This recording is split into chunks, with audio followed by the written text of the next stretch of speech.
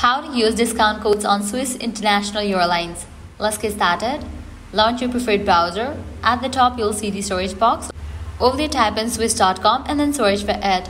You'll be directed to the official website of it. Now, at the top right, you'll see the option of login and registration. Click on that and log into your account. Once logged in, you will land at this kind of page. Now you have to go ahead and book a flight. For that, you have to provide the flight details. First up, select whether you want round trip, multi-city or one-way.